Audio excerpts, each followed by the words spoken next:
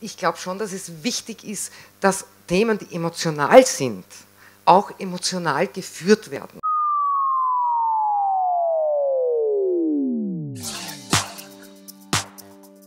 Kein Mensch, auch ich hier nicht und du hier nicht, wird öffentlich etwas sagen, was er nicht sagen will. In einem Interview kommt es nicht auf die Antworten, sondern auf die Fragen an.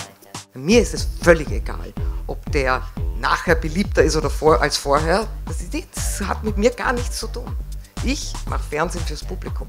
Haltung haben und sich auf eine Seite schlagen sind zwei unterschiedliche Dinge. Und wenn ich das nicht beherrsche, dann sollte ich diesen Job lassen und in die Politik gehen. Rede und Gegenrede und hinterfragen und fordern.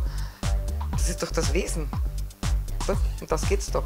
Das Publikum ist meistens sehr viel klüger und einsichtiger, als manche glauben.